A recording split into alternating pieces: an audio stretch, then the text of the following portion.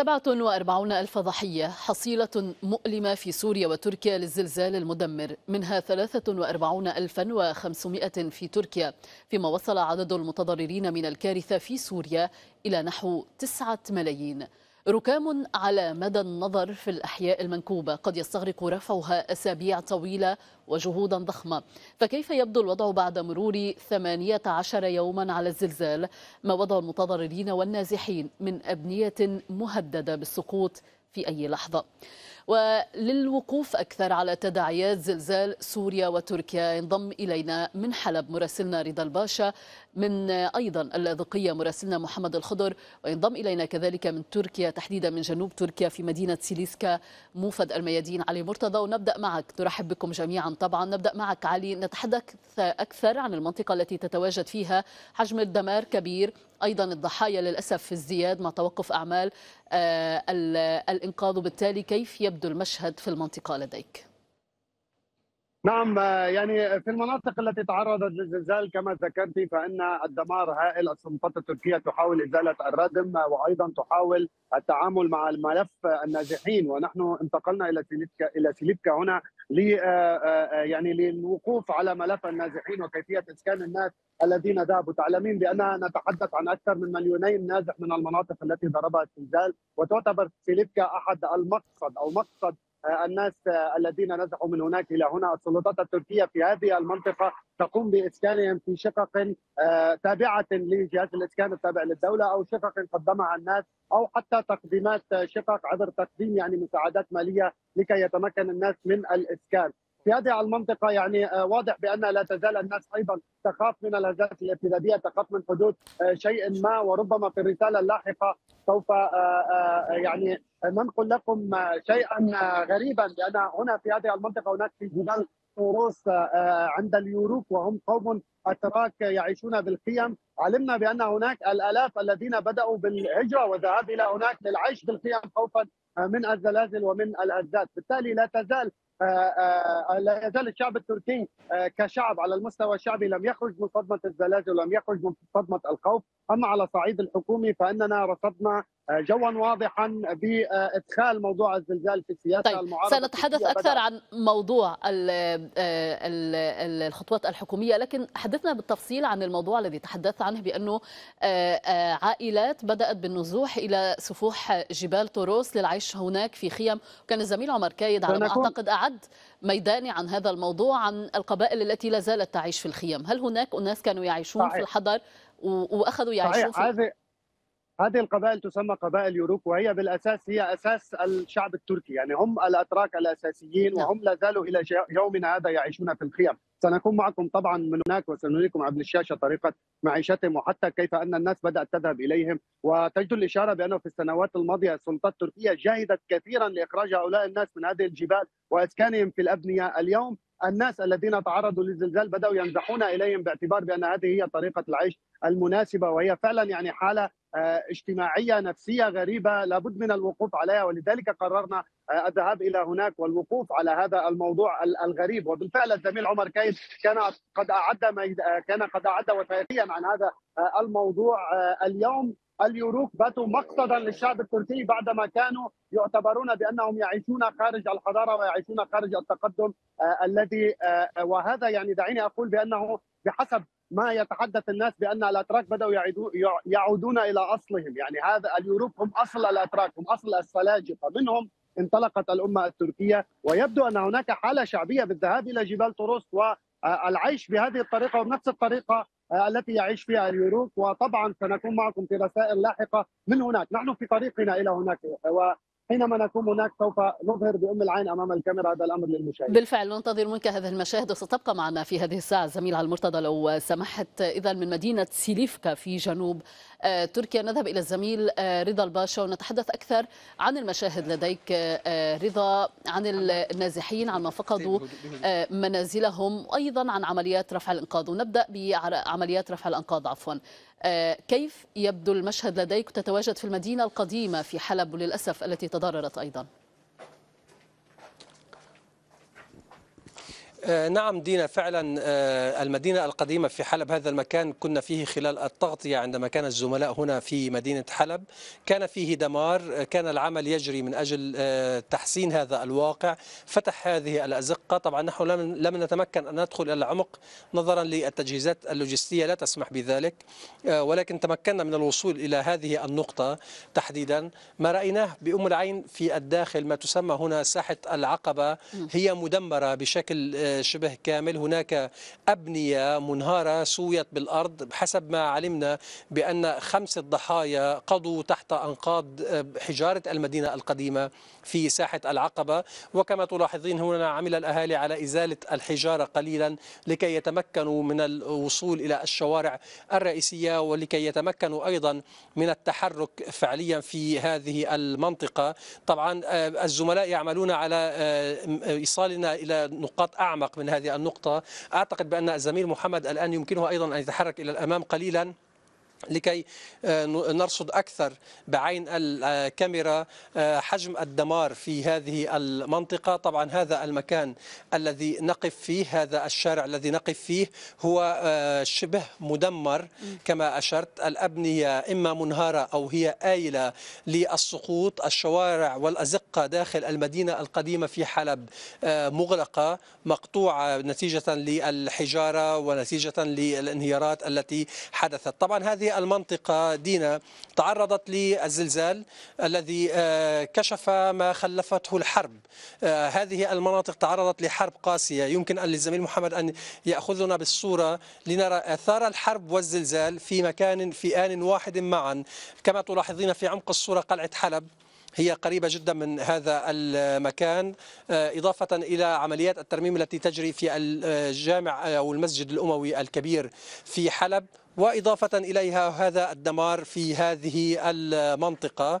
طبعا نحن هنا كنا بعيدين عن الشارع الرئيسي أكثر من 200 متر والدمار يغلق هذا الشارع بشكل كامل. وكما تلاحظين أيضا هنا الدمار. ما علمناه من الأهالي بأن هذا الحجم من الدمار دينا هو ازداد جراء الزلزال الثاني الذي كان قبل ثلاثة أيام. أدت أدى الزلزال الثاني إلى تشققات أدى إلى مزيد من الانهيارات. وهذا بطبيعة الحال انعكس سلبا حتى على عمليات الترميم التي كان يقوم بها بعض الأفراد في هذه المناطق. يمكن أن نلاحظ أيضا في هذا المكان التشققات أيضا في ما يسمى بالقناطر هنا في حلب في الجدران. هذه مثلا في هذا المكان تحديدا. في هذا أو في هذا المكان المسقوف وفي تحت هذه القناطر حاولنا أن ندخل أكثر ولكن حجم الركام دينا في هذا المكان الذي نقف فيه وفي الشارع الذي خلف هذا الركام لا لا يمكن لا يمكن العبور على الإطلاق. هنا حجم دمار هائل. لا أعلم إن كان الزميل محمد يمكنه أن يصل إلى هنا يدخل أكثر بالكاميرا. لنرى حجم الدمار على الأقل. نعرضه من خلال عدسة الميادين في هذا المكان. هذا الشارع مغلق أو هذا الزقاق مغلق بالكامل. يعكس يعكس بشكل أو بآخر حجم الدمار في المدينة القديمة بشكل كامل وهو يتكرر كثيرا في هذه المنطقة. طبعا هنا نتحدث عن دمار كبير. في المدينة القديمة جراء الحرب أولا ثم جاء الزلزال عدم القدرة على ترميم ما دمرته الحرب كان هناك عملية ترميم تجري بشكل متسارع ولكن هذا الترميم كان محدود. يقتصر على بعض الشركات السورية بشكل أو بآخر. نعم. ولكن لم يكن كافيا دينا بطبيعة الحال.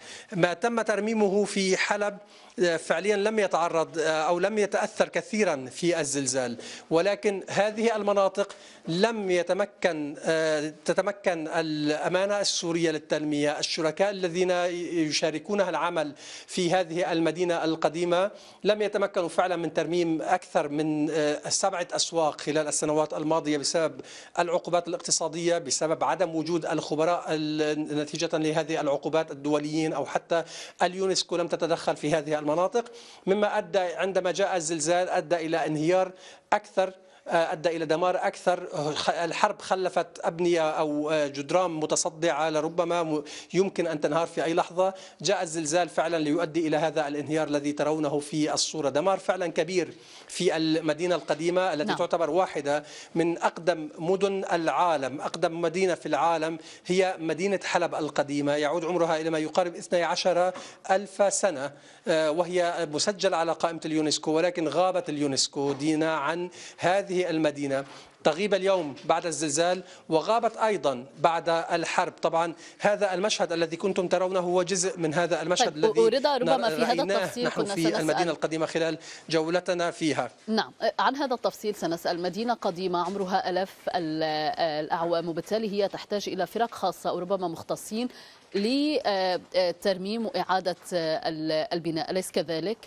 ليس فقط إلى جهود آه، حكومية أو ما إلى ذلك صحيح دينا نعم. صحيح دينا لا يكفي لا يكفي الجهود الحكومية لا يكفي أصلا عمل المؤسسات السورية ولا يكفي أيضا دعيني أقول لك حتى المؤسسات المختصة العربية لكي تتمكن من العودة إلى المدينة القديمة ولكي تتمكن المدينة القديمة من العودة إلى ما كانت عليه. هي تحتاج إلى حضور حقيقي وواسع من قبل منظمة اليونسكو. هي تحتاج أيضا إلى حضور حقيقي وواقع وحقيقي وكبير لمختصين في علم الآثار لمختصين في كل ما يخص المدن الأثرية. الأثرية أو المدن المسجلة على قائمة اليونسكو. طبعا هنا نحاول أن ندخل قليلا ولكن أيضا الشارع آه، شبه مقطوع وهناك حجارة آيلة للسقوط وجدران أيضا آيلة للسقوط في هذه المنطقة.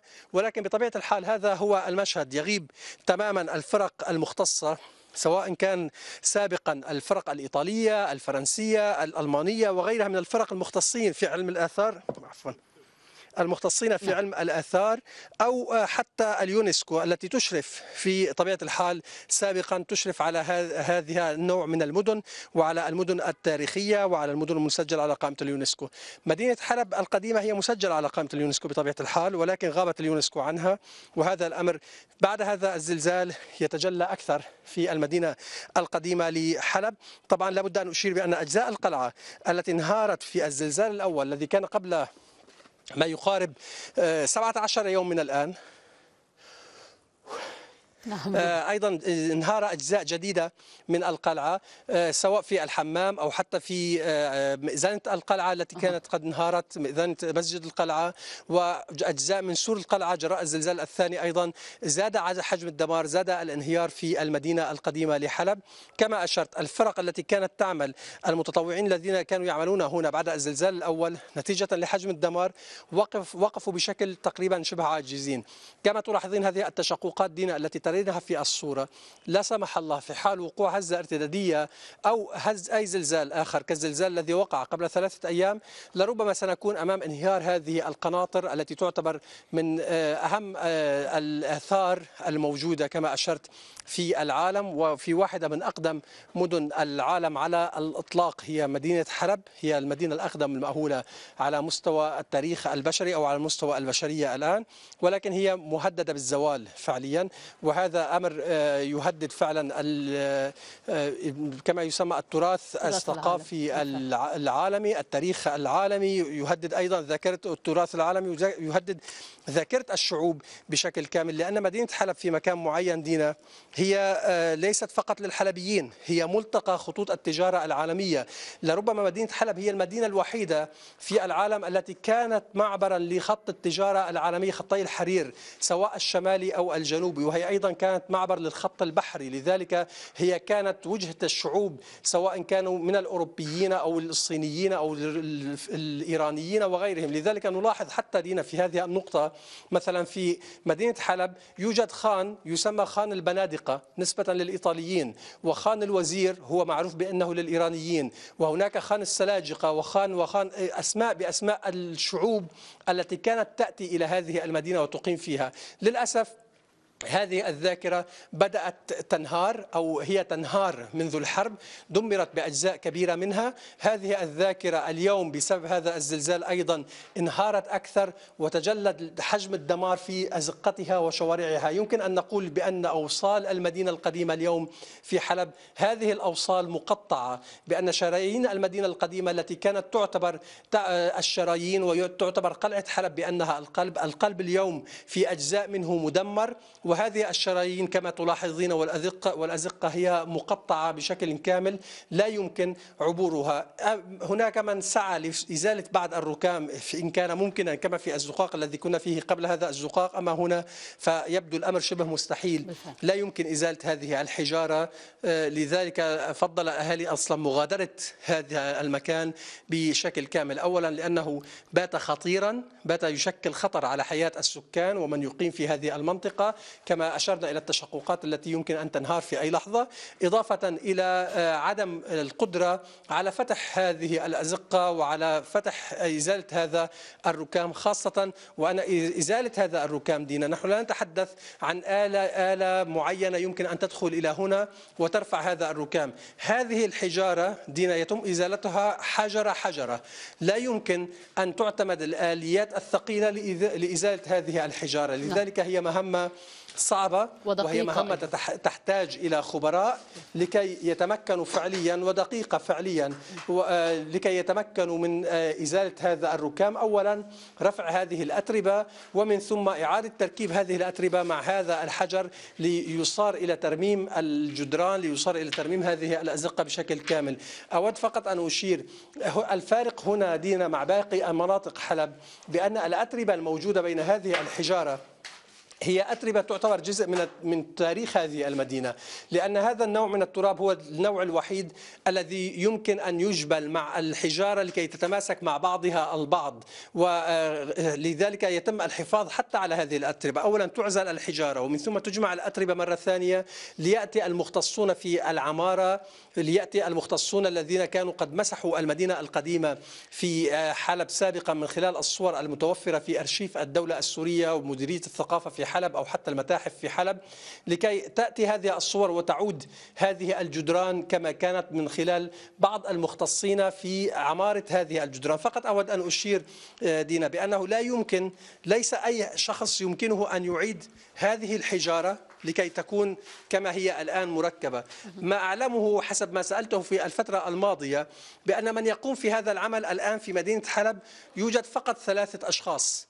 يمكنهم أو يعرفون كيف يمكن التعامل مع هذا النوع من العمارة كيف يمكن التعامل مع هذا النوع من الحجارة كيف يمكن خلط هذه الأتربة التي ترينها بين الحجارة أو التي ترينها في هذا الجدار الآيل أيضا للسقوط؟ نعم. كيف يمكن خلط هذه الأتربة لتعطي حالة من التماسك لهذه الحجارة؟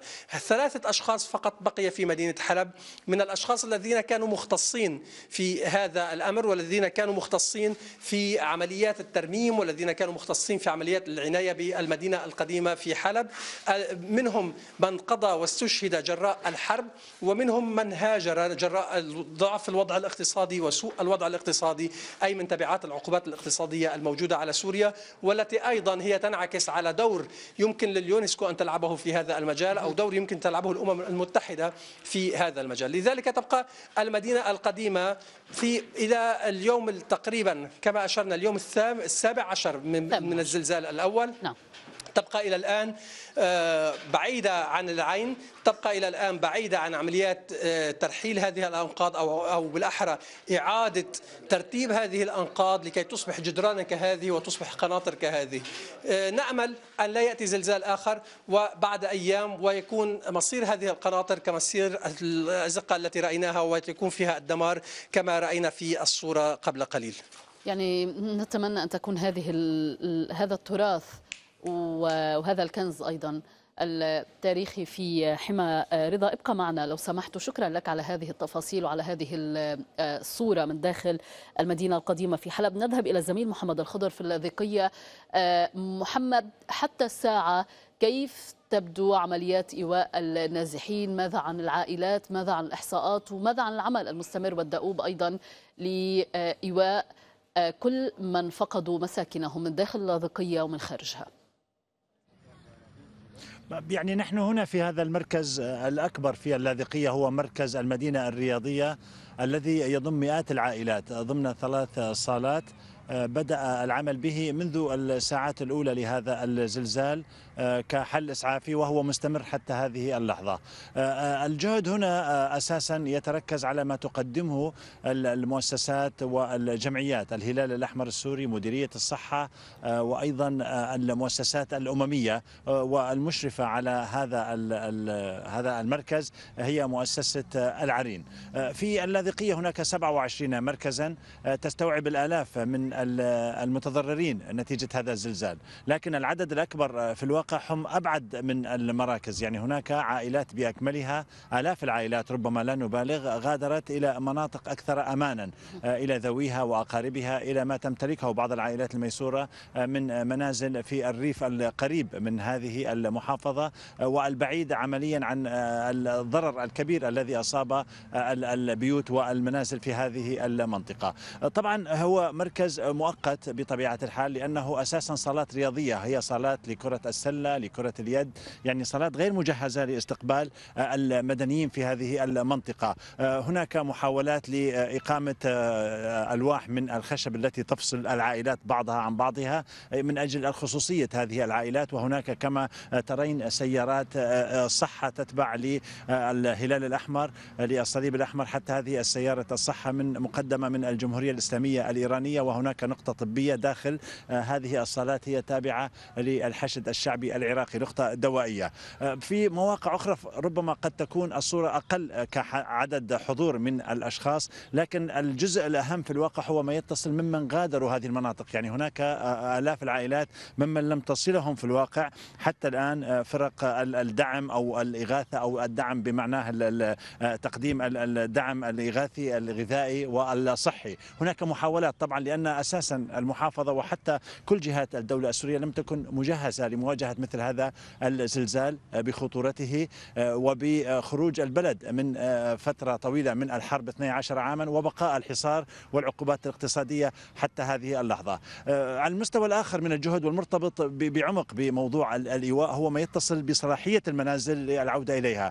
في اللاذقية حتى هذه اللحظة كنا على تواصل مع نقابة المهندسين في هذه المحافظة. تم مسح 22600 منزل. التأكد من سلامتها الإنشائية بناء على شكاوى تقدم بها الأهالي عبر المخاتير والبلديات.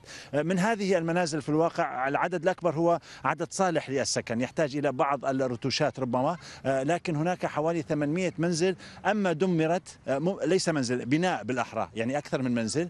أما دمرت خلال هذا الزلزال أو أنها تحتاج إلى عملية أو قرارات هدم مباشرة. بدأت هذه العمليات الهدم مثلا كان هناك بناء نحن تابعناه قبل يومين في منطقة الجنديرية في البهلولية حوالي 17 كيلو مترا عن اللاذقية. بناء من أربع طوابق جرى هدمه لأنه يشكل خطر على طريق عام رغم أن المنطقة هي منطقة زراعية وخطر على منزل مجاور له. الآن هذا الجهد هو في الواقع جهد كبير ربما أكثر من أسابيع ربما يحتاج إلى أشهر لأن الأمر ليس لصعوبته لأن الأمر يحتاج إلى معدات هندسية. بالأمس كنا نتابع على شاشة الميادين في حلب عند زميل رضا استشهاد أحد العاملين وهو يقوم بعمله. الأدوات هي بسيطة ويعني عوامل حتى الأمان التي يقوم بها العمال هي قليلة للغاية. جهد آخر يقام أو يجري العمل عليه من أجل متابعة هذه الأبنية في جبلة. جبلة تضررت بشكل كبير وهي تتبع لمحافظة اللاذقية. هناك عشرات الأبنية التي تحتاج إلى حسم أما تدعيما أو حتى إصلاحا أو ربما بعضها يحتاج إلى إزالة وهدم بشكل كامل. وهذا في الواقع العمل جاري عليه مركزيا من دمشق وزارة الإسكان. ومن المحافظات البلديات ونقابات المهندسين والأهم في الواقع هي تحتاج إلى دعم هندسي للحكومة السورية في هذا الجهد الذي لا يكتفي فقط يعني لا يكفيه وجود الخبرات الفنية إنما الآليات يعني فقط معلومة هي 150 ربما آلية خصصتها وزارة الأشغال على مستوى ثلاث محافظات وهذا في الواقع عدد قليل مع مثل هذه الكارثة التي مست عشرات آلاف المنازل. بدءا من حلب واللاذقية وحما حتى اليوم صباحا كان هناك خبر في مجلس محافظة طرطوس يتحدث عن وجود 117 منزل تضرر نتيجة الزلزال تضررا كبيرا وربما يحتاج إلى معالجات كبيرة بما فيها عملية الهدم. هذه جبهة عمل واسعة جدا وبدأ العمل فيها وربما تحتاج أشهر لحسمها بشكل كامل. بالفعل والمشهد أيضا يعني يتحدث عن نفسه محمد الوضع تحديدا في سوريا يحتاج إلى جهود كبيرة.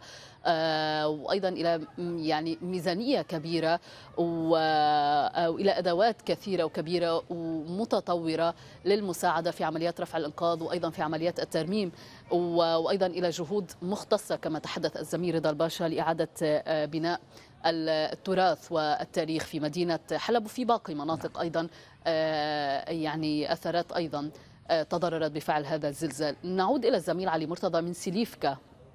علي كنا نتحدث نعم. معك وكنت تتحدث أيضا عن لدي تفضل لدي فقط تعليق مقارنة يعني النظرة للمشاهد قلعة غازي عنتاب أيضا هي قلعة تاريخية وقلعة تراثية بالفعل. الفرق بين قلعة حلب وقلعة غازي عنتاب أن اليوم في قلعة غازي عنتاب هناك فرق من اليونسكو هناك فرق من جمعيات من التراث العالمي هناك فرق أتت من إيطاليا وفرق أتت من عدة بلدان للمساعدة على ترميم هذه القلعة وللمساعدة على إعادة الجزء الصغير الذي تدمر منها. بينما كما نقل زميلنا رضا الباشا في سوريا دمرت أقدم قلعة في التاريخ البشري ولا أحد من هذه الجمعيات التي من المفروض أن تحافظ على التراث العالمي توجه إلى هناك. وهنا ربما تظهر أيضا المفارقة في كيفية التعامل حتى بالنسبة للتراث العالمي. بين تركيا وبين سوريا. أردت أن أعلق على هذا الموضوع لأنه بالفعل خطر على بالي حينما سمعت ما يتحدث عنه الزميل رضا الباشا عن الدمار التي تعرضت له قلعة حلب.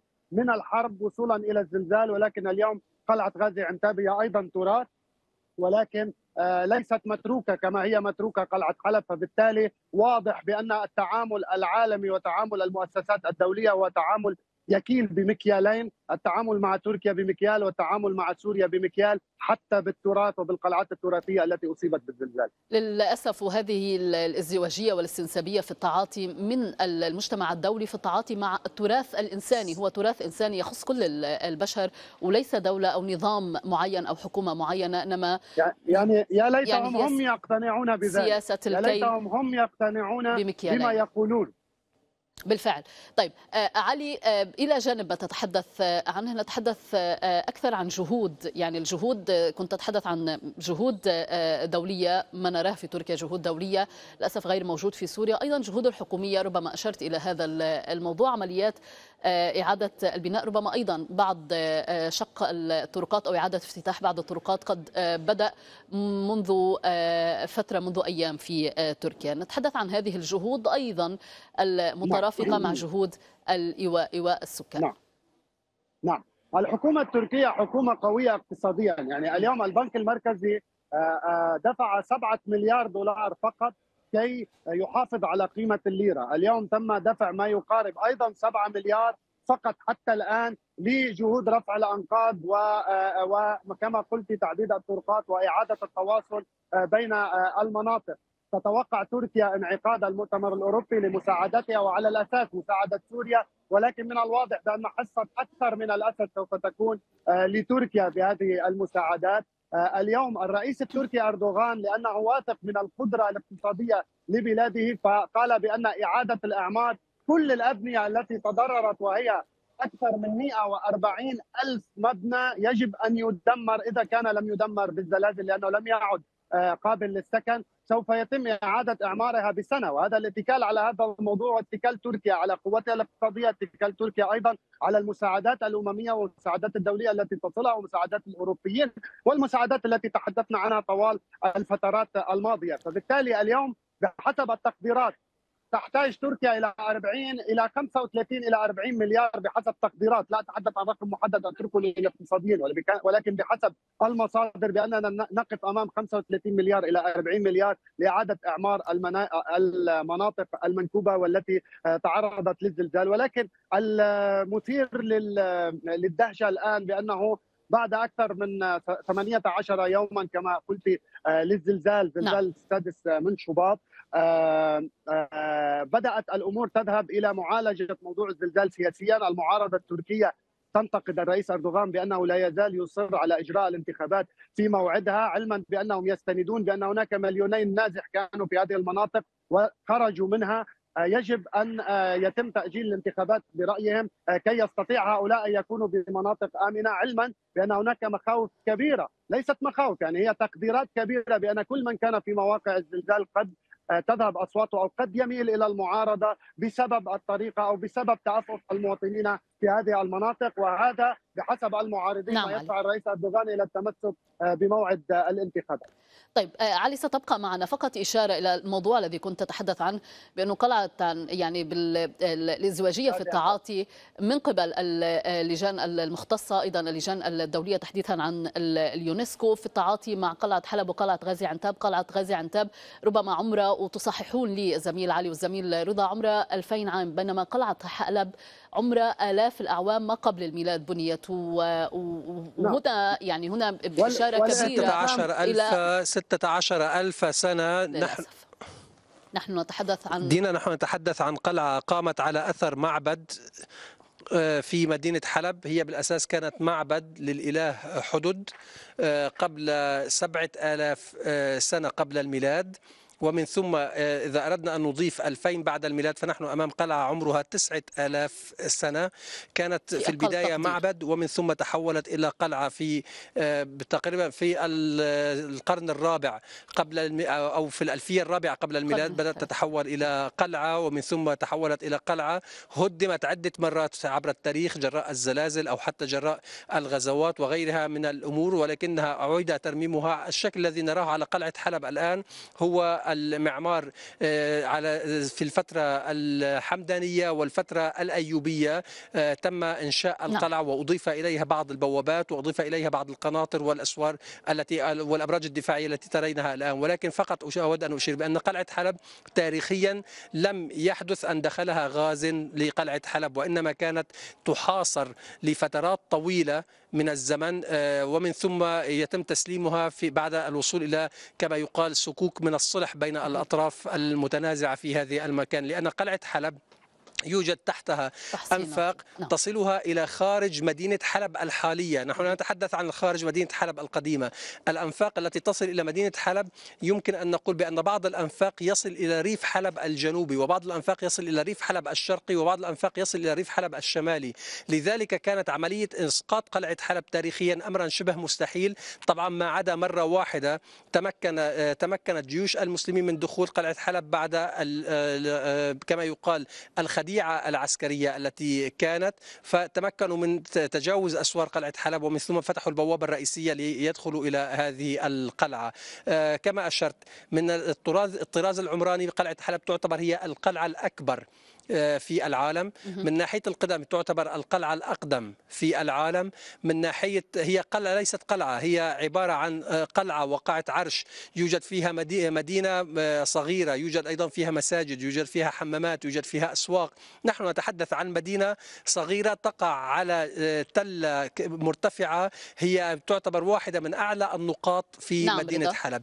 كما أشرت إذا أردنا أن نتحدث عن عمر الوجود في قلعة حلب هو 9000 سنة. إذا أردنا أن نتحدث كمعبد ومن ثم في في الألفية الرابعة قبل الميلاد بدأت تتحول إلى قلعة. وما تتحدث عنه ربما خير شاهد رضا بأن هذه القلعة ستعود. يعني نحن نتحدث عن شواهد تاريخية بالفعل. هذه القلعة ستعود وستدب فيها الحياة من من جديد. إذا استندنا إلى التاريخ بما أنها أعيدت إلى الحياة أكثر من مرة. ابقى معنا الزميل رضا الباشا أيضا نطلب من الزملاء علي ومحمد أن يبقوا معنا. ينضم إلينا الآن من عمان. الدكتور قاسم الريوامي الرماوي عفوا الاختصاصي في الطب النفسي. نرحب بحضرتك دكتور قاسم حالات نفسية كثيرة. نرحب بحضرتك. حالات نفسية كثيرة حالات عصبية كثيرة أيضا ما بعد الزلزال كأثار للأسف أثار نفسية ما بعد الزلزال. فقط لنفصل في هذه الحالات في تسمياتها العلمية. أيضا في نسبة الخطورة أو حجم خطورة هذه الحالات. نعم نعم. شكرا على السؤال.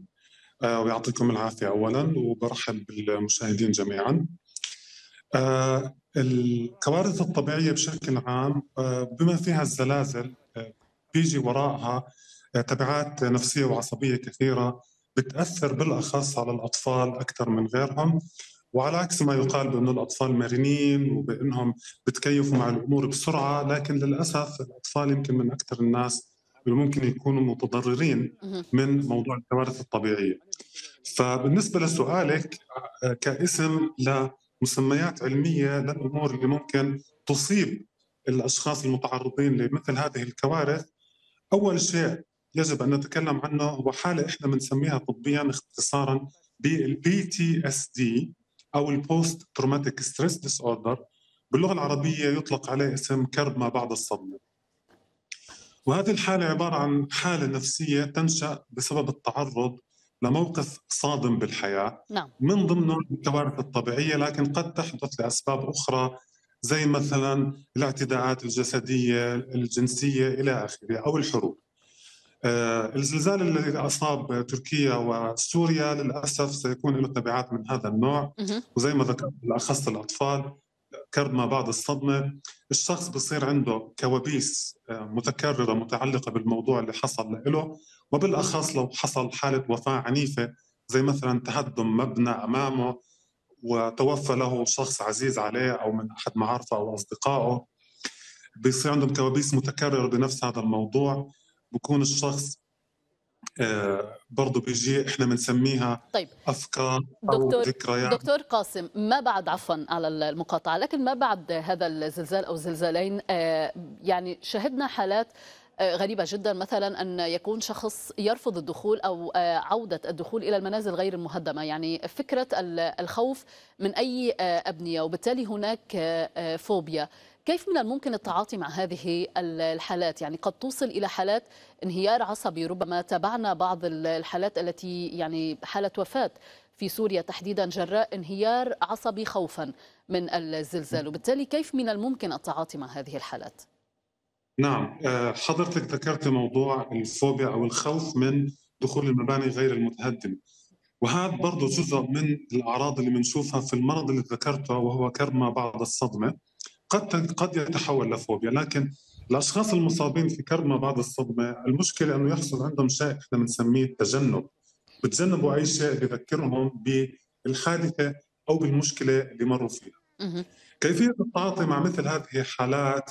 العلاج الأساسي هو نوعية علاج إحنا بنسميها في الطب النفسي اختصارا CBT cognitive behavioral therapy أو ما يطلق عليه باللغة العربية العلاج المعرفي السلوكي. وهذا بيلزم شخص مختص خصوصا في بما يسمى بال trauma focused CBT أو العلاج السلوكي المعرفي المنصب على الصدمات العصبية. وهذا نوع متخصص جدا منه وبيلزم متابعة على الأقل أسبوعية لهذا الشخص. وعدد من الجلسات تتراوح ما بين 12 ل 20 جلسة عشان الشخص يعرف يرجع حياته الطبيعية. لأنه لو تركناه من غير علاج بصير عند الشخص مشاكل اكتئاب فوبيا زي ما ذكرت حضرتك نعم. تعاطي للأسف مشاكل في النوم آه وقد يزيد كذلك نسبة الانتحار عند هؤلاء الأشخاص ويؤثر على علاقاتهم. طيب إذا نحن نتحدث عن حالات خطيرة جدا وبالتالي ربما عند بعض العائلات أو عند بعض الأشخاص ليس هناك إمكانية للذهاب إلى طبيب للذهاب إلى عيادة نفسية مختصة. هل هناك نصائح في آه، التعامل الأهل مع هذه الحالات أو المحيط مع هذه الحالات إن حدثت؟ نعم سؤال جميل جدا. آه، في في حالة عدم القدرة على الوصول لطبيب نفسي أو معالج نفسي آه، فبهذه الحالة الوضع أو الموضوع الأساس في فكرة أي مشاكل نفسية وبالأخص الناتج عن الكوارث الطبيعية هي وجود الدعم العائلي والعاطفي لهذا الشخص إلى حين الوصول إلى طبيب نفسي. فبالتالي يجب على الأشخاص اللي بيتعاملوا مع أي شخص تعرض لموقف آه، مثل هذه المواقف وصار عنده اضطراب كرما بعد الصدمة أو فوبيا أو اكتئاب هو أنه يدعموه نفسيا ما يلوموه على أي عصبية أو مشاكل قد تنتج عنها لأنه الشخص ممكن يتحول لشخص عصبي تتغير شخصيته.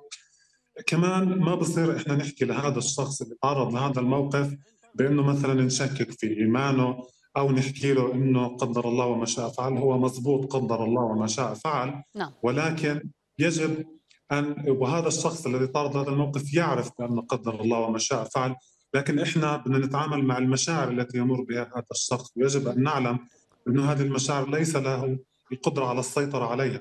فبالتالي إحنا ما نلومه هي أول نقطة.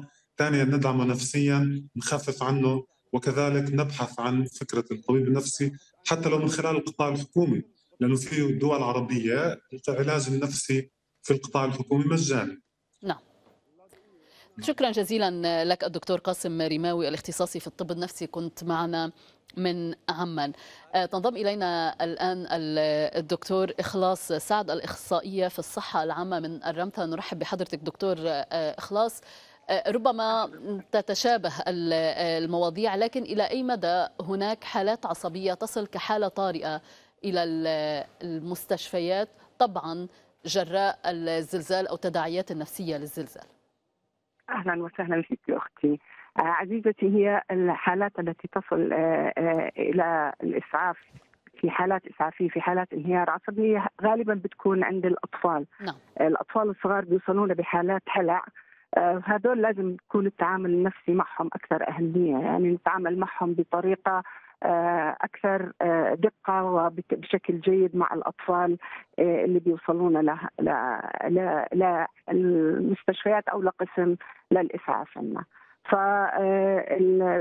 بده يكون التعامل بطريقة تهدئة الدعم يعني التعامل بشكل لطيف جدا ومهدئ للأطفال حتى إنه نقدر نطلعهم من حالة الهلع اللي هم فيها وطبعا وجود الأهل دائما بيكون نوع من أنواع الدعم النفسي اللي بيحيط بالأطفال حتى إحنا نقدر نتعامل معهم نقدر نقدم لهم الإسعافات الطبية اللازمة. نعم. آه هذا نعم. طيب آه هذا في مخص الحالات النفسية لكن آه في حالات الزلزال إذا كان هناك حالة طارئة لم تستطع الوصول ربما إلى المستشفى أو إلى الطواقم الطبية، ما هي النصائح للتعامل نعم. معها كالجروح نعم. كالكسور نعم. ربما إن شاء الله لا تحدث نعم. بعد نعم. ذلك هي التعامل التعامل الإسعافات الأولية في نعم. مكان الزلزال أو في نعم. مكان الكارثة الحادثة التي حصلت هي إحنا بنعتمد بيكون في عندنا جروح آه قد تكون بدنا نصنف الجروح إذا كانت عميقة أو سطحية. آه الهدف الأول دائما في حالة الجروح هي إيقاف النزيف. آه الضغط على مكان تنظيفه وتطهيره بتعرفي لأنه بيكون في أتربة وبتعرض لل لعوامل العدوى عوامل الجراثيم الموجودة في الأتربة والأغبرة الموجودة من جراء الحادث. فيجب أن بأي مادة موجودة عندنا من الماء نغسلها بالماء والصابون أو بالماء تغسيلها وتنشيف الضغط على أماكن الجرح ولفها بشاش. وإذا كان مش موجود عندنا شاش بأي قماش ممكن إحنا نقوم بإيقاف النزيف ل الجروح القطعية اللي إحنا من بنلاحظها آه آه كمان بدنا ننتبه حتى لو كان يعني حتى لو كان المسعفين غير متخصصين بدنا ننتبه إنه من النزوف الداخلية لأنه كنا سنسأل عن الموضوع. ما هي أبرز العلامات؟ يعني أحيانا يكون هناك نزيف داخلي ولا يستطيع الشخص أن يحدد ذلك لأنه الشخص الذي أمامه الشخص المصاب يكون في حالة طبيعية وبالتالي ما هي العلامات على النزيف الداخلي؟ نعم هي سؤال جدا مهم. العلامات اللي إحنا من بنشوفها إذا كان في عنده نزيف داخلي الشحوب اولا ثانيا تسارع ضربات القلب بنشوف في تسارع بضربات القلب ومن ثم نزول نزول الضغط. فهاي العلامات بتدل على إنه في عندنا نزف داخلي عم بينزل بيروح من عندنا الحجم الدموي عم ينزل حجم الدم من الجسم نعم. حجم السوائل عم ينزل وعم يدخل بصدمة.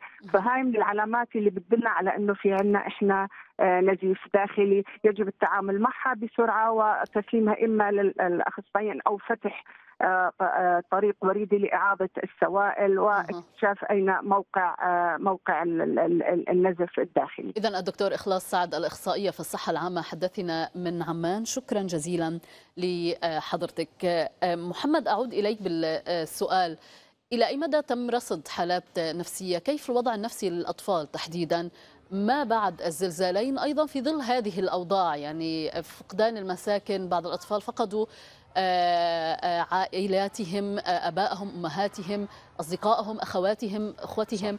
وبالتالي كيف ترصدون الحالة النفسية لدى هؤلاء؟ بدقيقة لو سمحت. نعم مدينة كثيرة في الواقع هي. على الأقل آه، بالأول أمس عندما آه، حدثت هزة ارتدادية العشرات ربما المئات ممن راجعوا المشافي آه، هم من نتيجة التأثر النفسي نتيجة الخوف والهلع. هنا في هذا المركز الذي نتواجد به هناك مجموعات متخصصة من طلاب التربية من جمعيات متخصصة بشؤون الطفل تقوم بعملية مساعدة الأطفال. إخراجهم من ذلك الجو عبر ألعاب عبر تشجيع.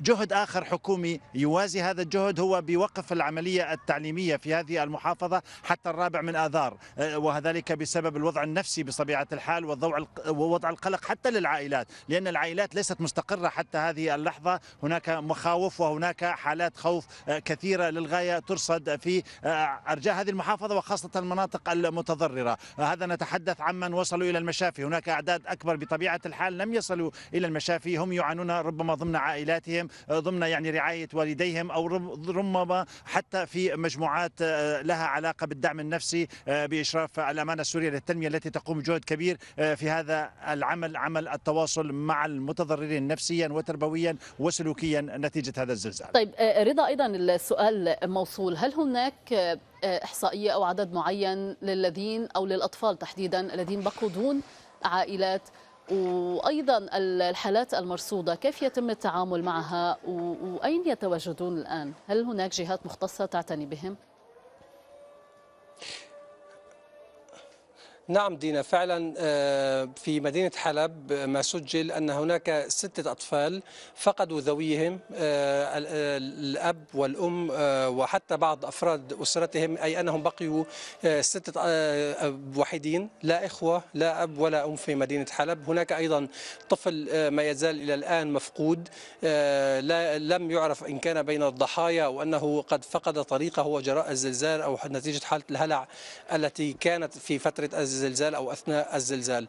آه، هذه بالنسبة لمدينة حلب ولكن أن نتحدث عن إحصائيات أكثر من ذلك فإلى الآن لا يوجد إحصائيات آه، حقيقية ولكن يمكن أن نقول بأن فعلا كما آه، أشار الضيف في الميادين الأطفال هم الأكثر تأثرا في هذه الحالة. هم الأكثر هي لربما الأمر المفاجئ أن تكون ذاكرة الأطفال هي الأكثر استمرارا في في هذه الحالات هي الأكثر تخوفا وهي الأكثر تحسسا. حتى في ساعات المساء يستيقظ الأطفال بعضهم يستيقظ مرعوبا آه، يتحدث عن هزات أرضية يتحدث أيضا عن زلازل آه، وبعضهم أيضا يسعى لعدم مفارقة أبويه على الإطلاق. الكارثة آه، دينا هي بمن فقد أبويه. لربما هذا الطفل هو الذي سيحتاج الكثير من الرعاية والكثير أيضا من العناية سواء العناية النفسية أو حتى العناية من نوع آخر العناية نعم. لكي يشب ويصبح شابا. في فترة زمنية معينة وهذا الأمر أود أن أقول بأنه أيضا هو أمر صعب جدا. صحيح كما قال الزميل محمد بأن الأمانة السورية إضافة لبعض الجمعيات الخيرية تعني بشؤون الأطفال وتسعى لمساعدة الأطفال ولكن هي جهود آه، خجولة أمام الحجم الكبير. بالفعل. آه، لذلك نلاحظ بأن أغلب الأطفال وأغلب الأهالي اليوم يعانون من آه، حالات القلق المتكررة وحالات التوتر المتكررة لدى أطفالهم جراء الهزات. الارتدادية نعم وحتى جراء الزلازل التي وقعت. طيب أيضا ورد الآن نقلا عن مراسلنا بأن طائرة مساعدات وصلت من ليبيا تحديدا بنغازي ربما آه، وتحمل 14 طن من المساعدات وصلت إلى اللاذقية علي أيضا أختم معك عن هذه الحالات عن حالات الفقد الكبيرة الكارثة كبيرة وأيضا أعداد الضحايا كبيرة وبالتالي أعداد من فقدوا ذويهم أيضا كبيرة تحديدا الأطفال منهم. كيف هو الوضع باختصار لو سمحت في آه، تركيا؟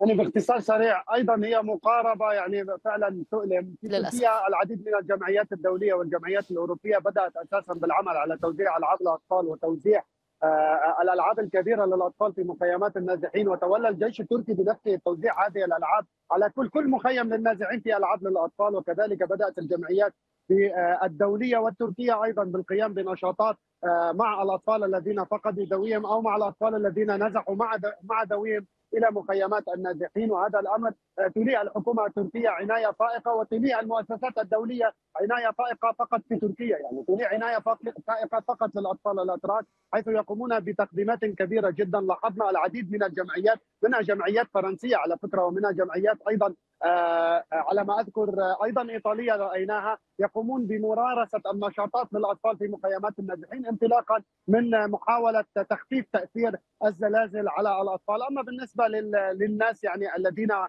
للكبار فكما قلت لك التأثيرات النفسية كبيرة جدا ومنها ما بدأنا به الرسالة هو هرب الناس إلى جبال طوروز والانضمام إلى الأتراك الأوائل في الخيم والهرب من الأبنية المكونة من الحجارة خوفا من الزلازل. ما تتحدثون عنه زميل علي والزميل رضا والزميل محمد أيضا يطرح كل الشعارات الإنسانية التي تنادي بها هذه الدول تحديدا دول الغرب يطرحها ويسقطها من قبلهم للأسف. شكرا جزيلا لكم علي مرتضى موفد الميادين إلى سيليفكا كنت معنا من جنوب تركيا رضا الباشا كنت معنا من حلب المدينة القديمة والزميل أيضا محمد الخضر كان معنا من اللاذقية تحديدا من المدينة الرياضية. شكر الكبير لكم مشاهدينا على طيب المتابعة. إلى اللقاء.